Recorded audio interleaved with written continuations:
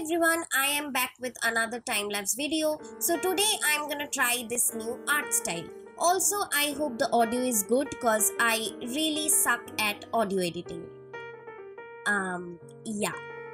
So before talking about anything else, let me just announce the artist of the week. And the artist of this week is Artman. This channel is pretty dope actually. I would recommend all of you to check this channel out. The link is given in the description box down below. So this is the episode 2 of trying out new art forms where I am trying out another Indian art style.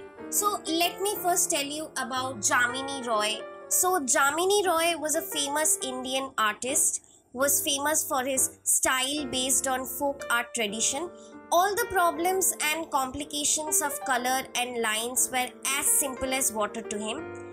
Coming from a distant village, he became famous as a popular and uh, prolific painter. At a very tender age, he admitted in government art college, and at the age of 20 or 21 years, he graduated from there. He began to paint, keeping the ideals of Havell and Ravindranath Tagore in view during this time, he used to paint in a style of Bengal school.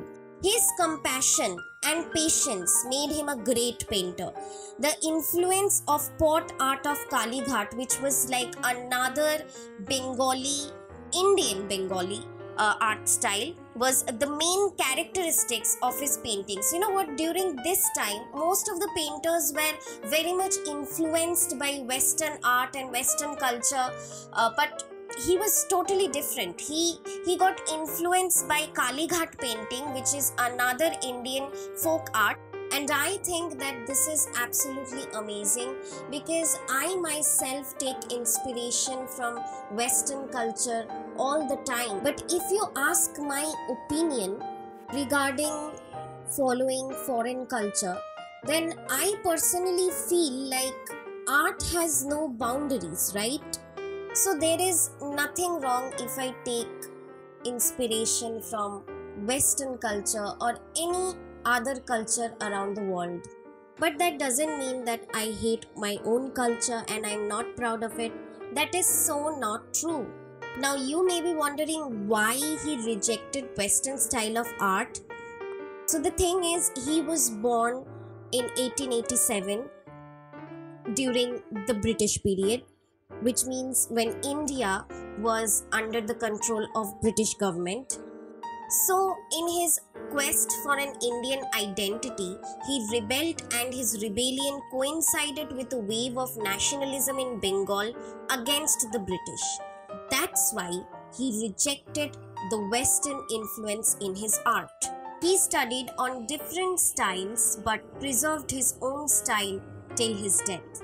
And this great artist died in 1972. That's it for today guys. If you have enjoyed this video, please do leave a like down below. Subscribe if you are new or have not done so already and I'll see you next time.